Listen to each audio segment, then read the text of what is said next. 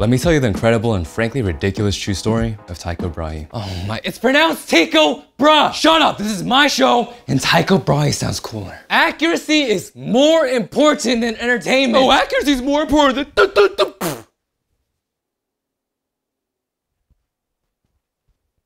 Tycho was a 16th century astronomer and raging party animal that predicted planetary motion. This guy drank like a fish, so he was basically like the Bert Kreischer of astronomers, except, you know, like, actually funny.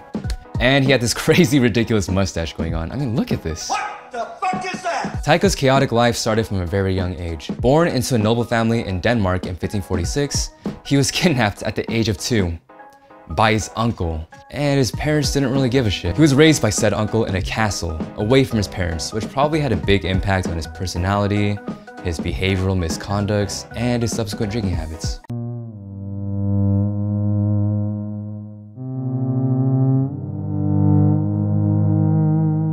Initially, Tycho studied law, but he wasn't really too interested in it. Then one day, when he was 20 years old, he witnessed a solar eclipse, which just completely blew his mind.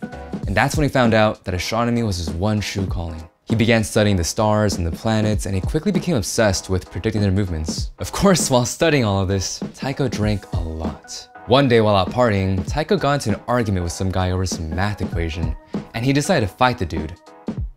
With swords. Over math! During the sword fight, Tycho got a huge chunk of his nose just cut off. And so in typical Tycho fashion, he decided to wear a prosthetic brass nose, because why not, right?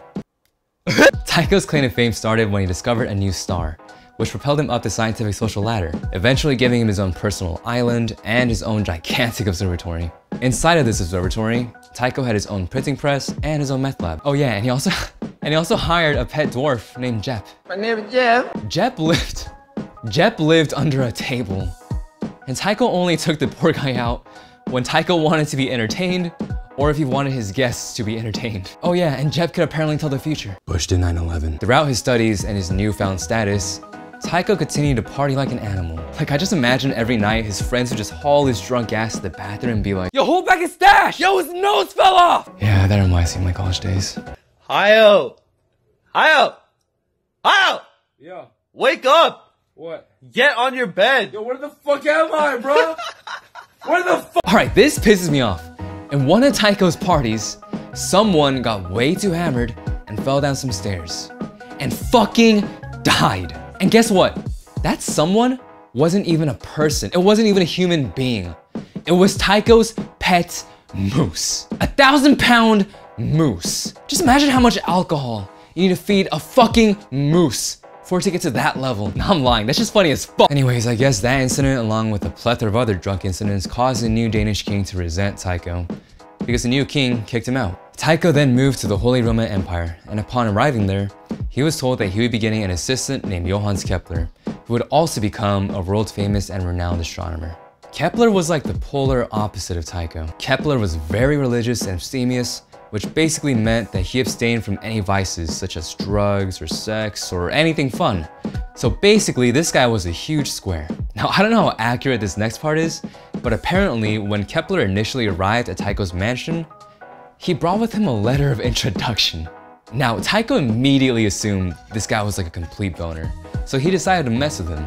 He handed Kepler a problem that he had been working on for the past two years and told Kepler that it would be a very, very simple problem to solve. Kepler, as determined as he was, spent the next two days without sleeping or eating to solve the problem. When he got back to Tycho with the solution, Tycho was shocked.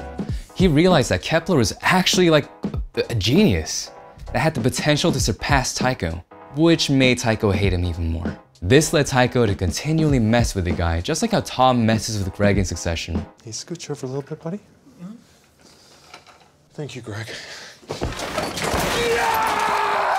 Again, not too sure on the accuracy of this part, but in one such instance, Tycho, knowing that Kepler was a deeply religious virgin, sent a bunch of naked women up to Kepler's room, in which Kepler slammed his door shut, threw himself onto his knees, and began praying for strength.